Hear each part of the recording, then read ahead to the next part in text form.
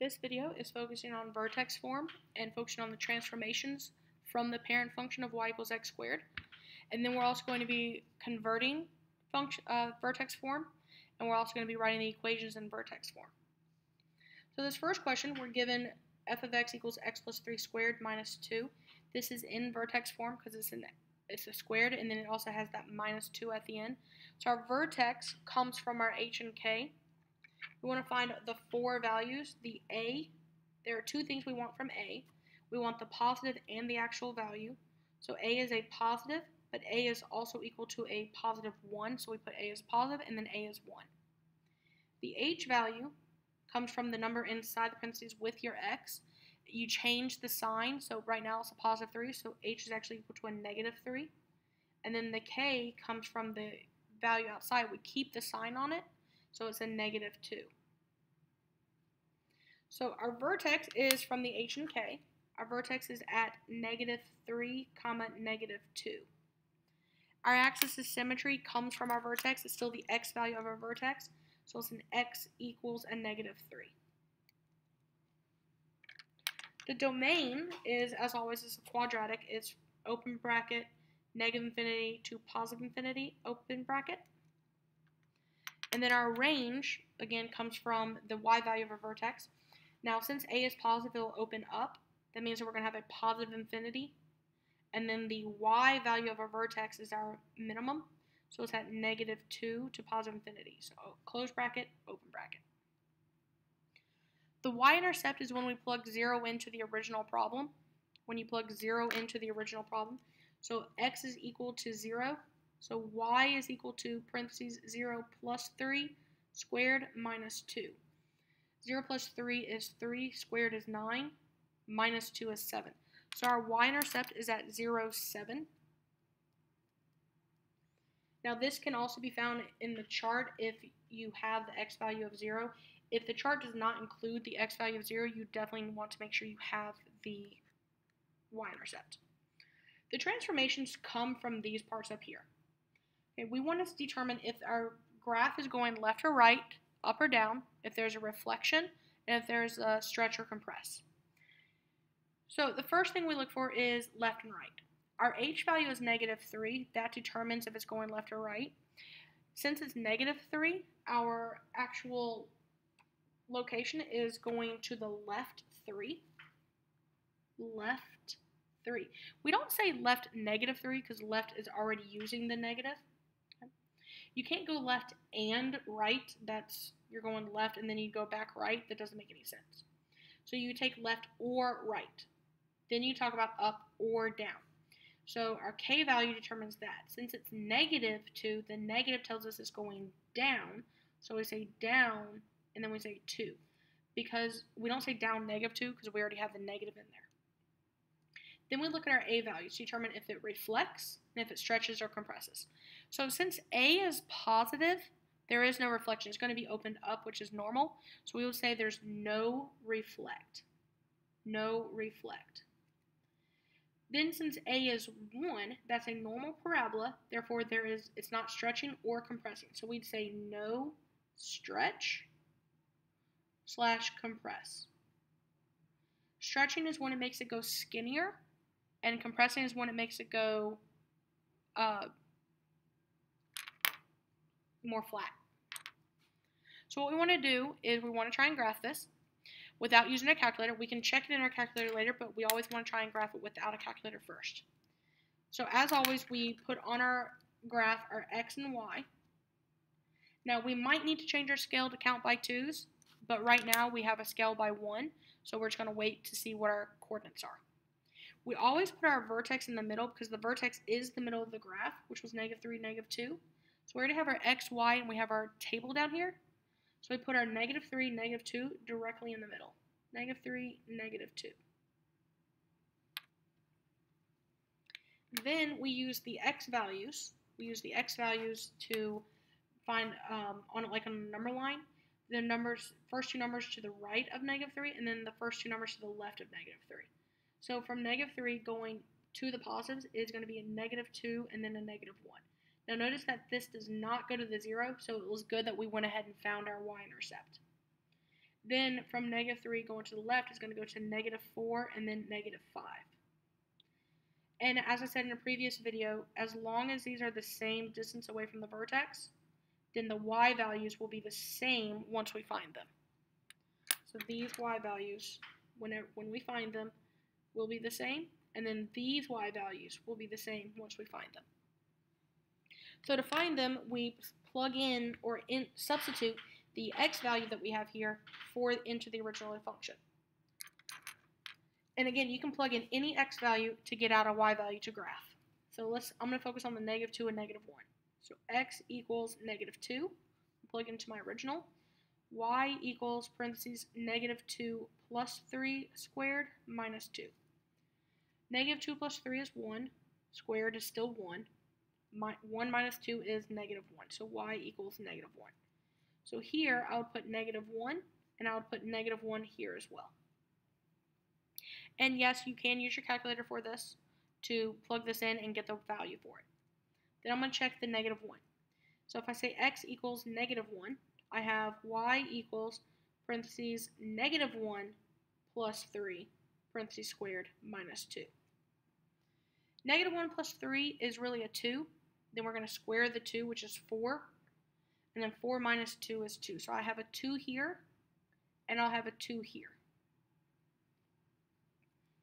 So we have 5 coordinates here, but I also have the y-intercept of 0, 7, and I can do the mirror of the y-intercept as well.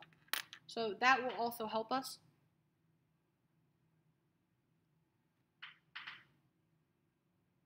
We're going to go to our plotting of the coordinates. So I have my vertex I'm going to put first is negative 3. So these are all small numbers, so I am going to keep it counting by 1. So at negative 3 and then negative 2 is my vertex. I'm going to go ahead and plot my uh, axis of symmetry going through the vertex. This is my AOS of x equals negative 3. And now I'm going to plot my, all my coordinates.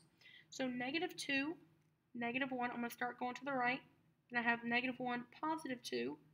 But then I also have my y-intercept of 0, 7. So 0, 7. Now the reason why this is actually pretty pretty interesting is that I don't even have to look at these coordinates down here for the other half because I can just do my symmetrical part. So my symmetry for this coordinate is I would go to the left one, I'll go to the left one more. There's my coordinate, which is that negative 4, negative 1, same coordinate. Then I can do this coordinate, which is 1, 2 away. I can do 1, 2 away. So this is that negative 5, 2, which is the same coordinate here. I can do the same thing for my y-intercept. This is 1, 2, 3 away. So I'll do 1, 2, 3 away. Now I have the mirror of all of all these coordinates so that I can actually make it more accurate. Now I'm going to graph my parabola. So what happened is, from 0, 0, you can see that the vertex went to the left 3 and then it went down 2. The vertex is going from 0, 0 to a new coordinate. So all of these coordinates actually went from the original of x squared, from if I just plugged in x squared, all of these points actually shifted to the left 3 and then it went down 2. That's what the transformations do. So if we go to number 2, we're going to do this one as well. We're going to find our A values. So there's two parts of the A. A equals, it is a positive, and then A equals, I want the number, which is 2. Then we focus on the H, which again is inside the parentheses since it's squared and then minus 3 on the outside. This is vertex form. So we change the h value, so this becomes a positive 2. Then our k value, we keep the sign, so it's a negative 3. Therefore, we have the vertex is at 2, negative 3. And then our axis of symmetry comes from the x, which is x equals a positive 2. The domain is still negative infinity to positive infinity. And then our range, since it is a positive, is going to open up that means it's going to have a positive infinity. And our value, our minimum value, comes from our y, which is negative 3. Close bracket, open bracket. Now, our y-intercept could come from our chart, but we're going to go ahead and figure that one out. So we're going to have x equals 0. We're going to plug it in. y equals 2 parentheses 0 minus 2 parentheses squared minus 3. So we can plug this into our calculator. We have 2 parentheses 0 minus 2 parentheses squared minus 3, which gives us a positive 5. So our y-intercept is at 0, 5. Y-intercept is at 0, 5. Now, the transformations come from, again, the, these four things up here. So we want to talk about left and right because those are your x values. The h value is a positive 2. That means it's going to go to the right 2. The k value is negative 3 that goes up or down, so it's negative, so it's going to go down 3. The a value is positive, that means it's not going to reflect, so we're going to put no reflect. But the a value is a 2. That means that it is either going to stretch or compress. Now it stretches if the a value is bigger than 1, and it compresses if it's smaller than 1, because it's going to go down. So this is going to be a vertical stretch. Got to make sure we put vertical stretch. But we have to specify of what. So vertical stretch of, and then whatever our a value is, we put of 2. So now we have our 2, our 3, and then our 2 for our a value. We need to make sure we see all the numbers that are here. If there are numbers bigger than 1, we definitely want to see them for the a vertical stretch of 2. It would also be a vertical compress if it was a compression. Now we're going to go and graph this. So we know that our vertex will actually go right 2 and then down 3. Then all of our coordinates would technically go right 2 down 3 from the original of x squared. We'll go ahead and put our x and y on our axes. And we're going to find our coordinates. So again, I'm going to put my vertex in the direct middle, so 2, negative 3. And then I'm going to fill in my, from their x values, the almost like a number line. To the right of 2 is 3, then 4. And to the left of 2 is 1 and 0. And again, since these are the same distance away from the vertex, these values will be, these y values will be the same, and these y values will be the same. Now, if you notice, we already have an x of 0. We already have our y-intercept. So I can go ahead and put the 5 here without doing any more work for that one. Therefore, I can also put the 5 right here with the 4 comma 5 because they should be the same distance. So now I really only have to find one of these. I can use the 1 or the 3. I'm just going to focus on the 3.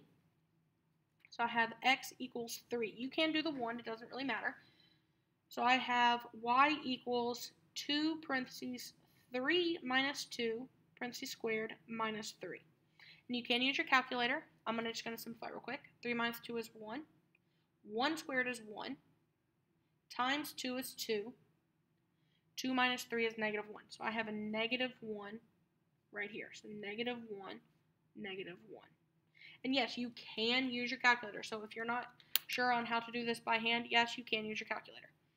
All these coordinates are relatively small, so I'm going to keep it as count by 1. I'm going to go ahead and graph our coordinates. I'm going to graph my 2, negative 3 first because it's my vertex. And again, so from 0, I went right 2 and then down 3. That's what the whole transformation is for. I'm going to go ahead and do my axis of symmetry. Going through the x equals 2. Going through that vertex. So this is AOS, x equals a positive 2. And now I'm going to graph these coordinates down here. So I have 3, negative 1, and then 4, 5. And again, I don't even have to look at the other coordinates because I can do the symmetry of it. So this coordinate is 1 away. I need to go 1 more away on the other side. This coordinate is 1, 2 away. So I go 1, 2 away. And that's that coordinate of 0, 5. And then this was the coordinate of 1, negative 1. So we were right on, right on it. And as long as they're symmetrical, that's what the axis symmetry will do. Okay, so again, our transformation from 0, 0 from the original x squared went right 2 and then down 3 because that's where the vertex is located. those are talking about the transformations. So please be careful on making sure you know what your two values for A are, then your H and K, because those four things tell you your transformations. Now what we're going to do is write the equation in vertex form, um, just like we did in standard form and intercept form. The coordinate, if you're given the vertex, you want to use vertex form. So write the equation in vertex form for the quadratic function that would pass through this coordinate. So just like before, we want to know what letters each of these represent. So our vertex will always represent our h and our k. But our point, because it's just a random point, it'll represent our x and our y.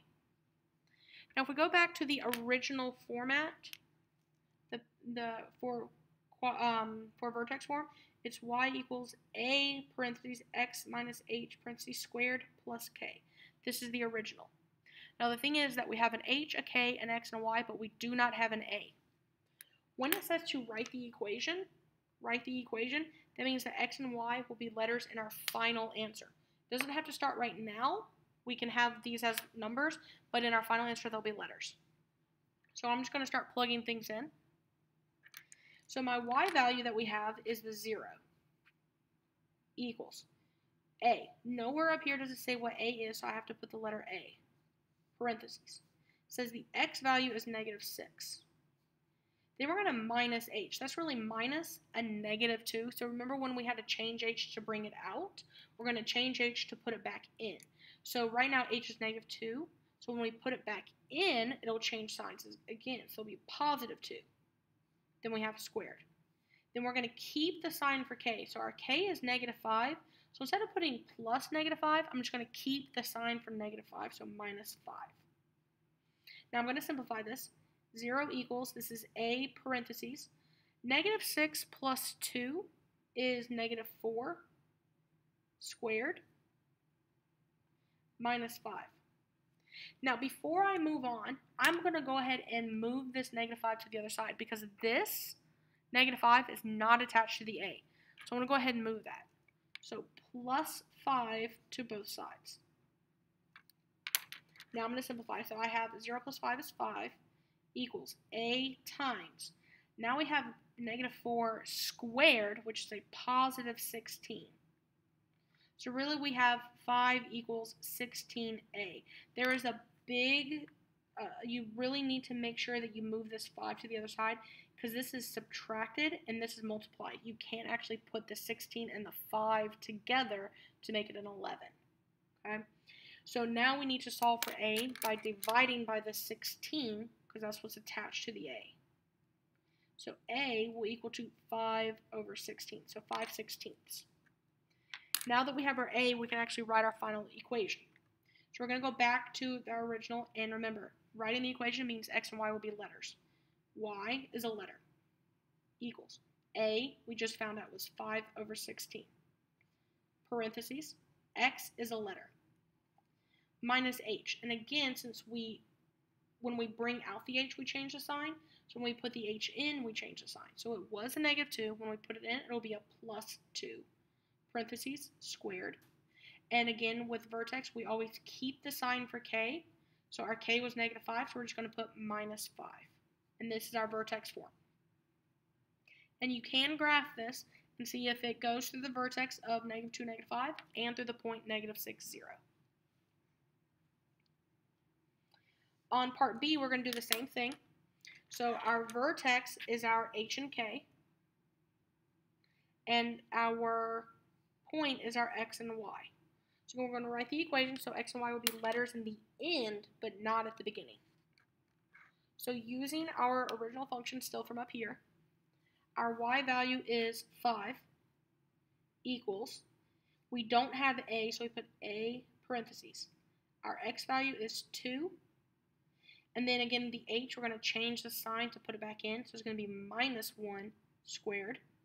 But we're going to keep the k value, which is a positive 3, so we're going to put plus 3.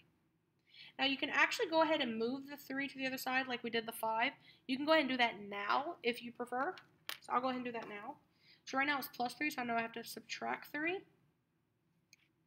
So 5 minus 3 is going to be 2 equals a parentheses. I can go ahead and simplify this. 2 minus 1 is 1 squared, and then that will go to 0. So we really have 2 equals a times 1 squared is 1. So we really have 2 equals 1a. What that means, since the 1 is already there, that means a is in fact equal to, we can just divide by 1 if you need to.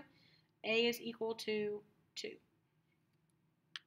So now that we have the a and we have all of our letters, we can go to our answer. Remember, writing the equation means x and y will be letters. So y is going to be a letter. Equals. A, we just found it was 2. Parentheses. X is going to be a letter. Minus H. So the H, again, it was 1, but when we pull it out, we change the sign. So when we put it back in, we change the sign. So it's going to be 1 instead, it's going to be a minus 1. Parentheses, squared, and then plus k. We're going to keep the sign for k, so 3. We're going to keep it at positive 3. And this is our function. And again, you can graph this and see if it goes through the vertex. We can see it's 1, change the sign, change h, keep k. And then we can also see if it goes through the coordinate 2, 5. This problem right here, we're actually going to convert it. I'm going to show you how to convert from vertex form into standard form because this one is a little more tricky. So to convert it into standard form, we do have to distribute. We have to get all the parentheses away. What you focus on first are the parentheses because standard form has no parentheses. This part right here, it says squared. That means it's actually written twice. So we truly rewrite it as negative 2 parentheses x plus 1 parentheses x plus 1 and then minus 10. So if you follow along with this, what we're going to do is we're going to distribute we're going to distribute the parentheses, not the negative 2 yet. We're going to keep that negative 2. We're going to have go from two sets of parentheses down to 1. So we're going to have distribute the x, become x squared. x times 1 is plus 1x. We're going to do the 1 times x is 1x. And then 1 times 1 is positive 1. So all of this Everything else stayed the same. I'm just going to simplify this real quick. This is negative 2 parentheses. It'll become x squared plus 2x plus 1. And then minus 10. Next, we are going to, we still got to get rid of the parentheses. So we actually have to distribute the negative 2 to everything. But that negative 10 is not part of the parentheses. So that's going to stay at the end. I'm going to keep that in purple. So I take my negative 2 and distribute it to everything inside the parentheses. So I'll now have negative 2x squared, then minus 4x, and then minus 2. But that negative 10 is actually still in purple because I never did anything with it yet. But now I have no parentheses left. All I have to do now is just, just simplify everything. I have no other x squared, I have no other x, but I do have two constants, so I need to put those together. So I will rewrite this as y equals negative 2x squared minus 4x, and then negative 2 and negative 10 together is negative 12. And this is our final answer. This is converted into standard form. There are no parentheses.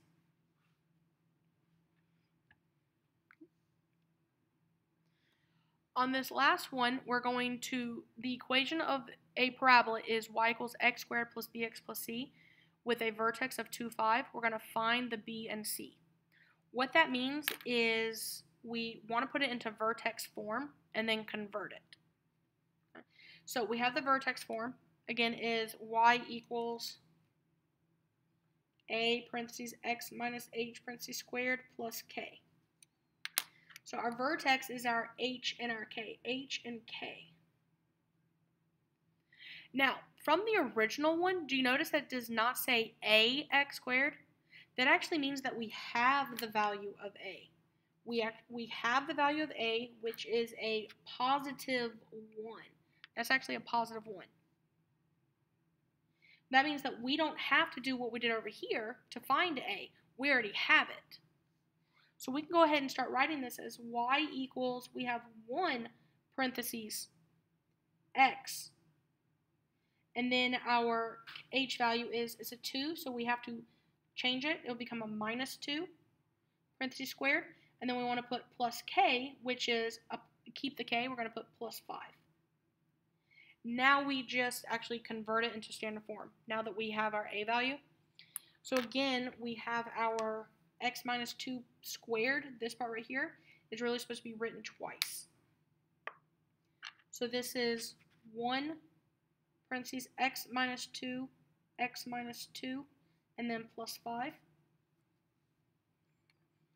So we're going to distribute the parentheses to get it from two sets of parentheses down to one. So we're going to keep that 1 out in front, parentheses. And we're going to, x times x is x squared. x times negative 2 is negative 2x. Negative 2 times x is negative 2x. And negative 2 times negative 2 is positive 4. We're going to close the parentheses, and we still have that plus 5 at the end. This will again become 1 parentheses. We're going to just simplify this part. The negative 2x, negative 2x. x squared. This becomes a negative 4x plus 4. Parentheses plus 5. The next part is distributing that 1, which if we distribute the 1, it won't change anything. So I'm just going to show that distri distribution, though, with the because of the parentheses. Now we're going to have just an x squared minus 4x plus 4 gets rid of the parentheses, but we still have that plus 5 in purple because that has not changed yet. So now what we need to do is combine our constants. So we're going to end up with a y equals, we have an x squared, a negative 4x, but then a 4 and 5 together gives us a positive 9. We still have the a value of 1. You see, from this format to this format, the a is still the same. So no matter what form you're dealing with, the a value will still be the same in all three forms. That's our final answer. So then b is actually going to be negative 4, and then c is equal to 9, because that was the question. What Find b and c. This is actually what we were looking for. We had to put in standard form to find the b and c.